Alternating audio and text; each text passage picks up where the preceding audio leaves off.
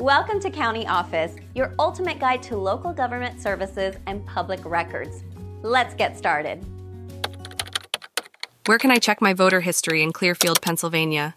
Ever wondered about your civic footprint? Your voter history is like a badge of democracy. It's a record of your participation in the electoral process. But where does one find such a treasure in Clearfield, Pennsylvania? Let's start with the basics. Voter history is maintained by election officials. It's a way to ensure the integrity of the voting process. Think of it as a ledger of your patriotic actions. Now, Clearfield residents, you've got options. The first stop? The Clearfield County Voter Registration Office. They're the guardians of voter records. But wait, there's more. In the digital age, convenience is key. Pennsylvania has an online voter services portal. Here, you can peek at your voting past with just a few clicks. Don't fret if tech isn't your thing. You can also request voter history via mail. A form, a stamp, and you're on your way to uncovering your voting dossier.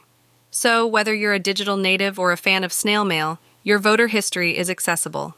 It's a testament to your role in shaping the future.